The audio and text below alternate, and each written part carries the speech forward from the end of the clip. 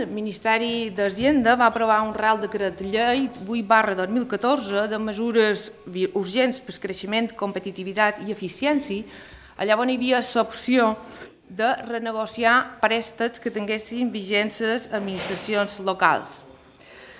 Per dur endavant aquesta renegociació havien de complir una sèrie de condicions.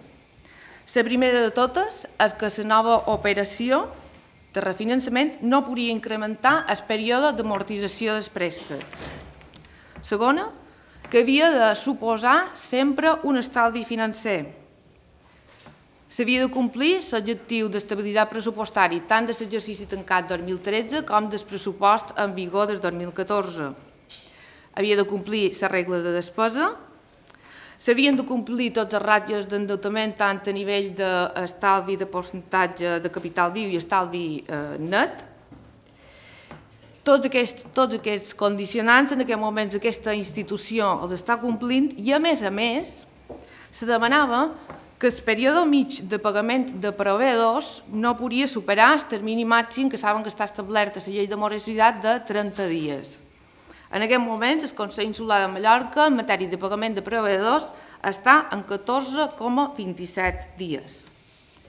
Vist que se complien totes les condicions previstes, hem plantejat un refinançament de préstecs d'import total de 39,7 milions d'euros. Aquests préstecs són un de 13 milions d'euros d'inversions de l'any 2011, aquest préstec d'inversions s'arrastra del pressupost de l'any 2010, anava a afectar concretament a 5 milions de pla d'obres i serveis, 5 milions de millores d'infraestructures de carreteres i 3 milions a restes d'inversions. Havia quedat pendent de subscriure i se va concertar a finals de l'any 2011.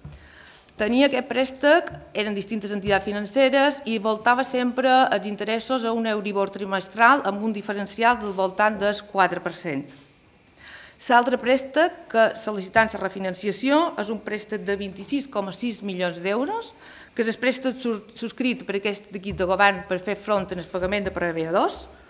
Inicialment era un préstec subscrit també amb un, amb un Euribor trimestral més uns diferencials que eren de 5,25 Dir-los que arrel d'aquesta refinanciació s'han millorat totes les condicions dels préstecs, els de préstec d'inversions passaran tots a un Euribor trimestral més un diferencials que aniran de 195 fins a 1,04 i el préstec de pagament de proveïdors passarà del diferencial inicial a un diferencial de 0,5 a 1,04.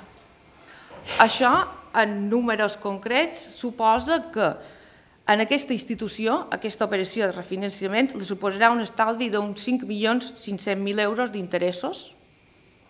I, donat que el préstec inicial d'ICO ja s'havia refinanciat, ja s'havia modificat fa dos mesos i havia suposat un estalvi d'1.600.000, això implica que aquestes dues millores d'aquestes operacions de préstec suposaran en aquesta institució un estalvi de 6,9 milions d'euros ja dic, la conseqüència més positiva és aquesta, s'estalvi amb interessos. La segona conseqüència que arrel d'això du, du anexa és que precisament a tots els pressuposts que vendran d'aquí endavant les partides destinades a el que són interessos seran molt més baixes i ja els puc anunciar que per pròxim pressupost, evidentment, suposarà una rebaixa de la partida d'interessos del voltant dels 3,5 a 4 milions d'euros.